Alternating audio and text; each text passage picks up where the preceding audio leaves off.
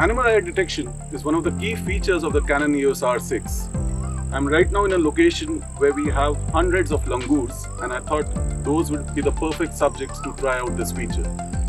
What I'm also interested in knowing is how this camera is performing along with the 800mm lens and the converters. So we'll also try to take some close-up shots of these langurs with the converters. So let's start working on these cute little guys and check some of these camera features.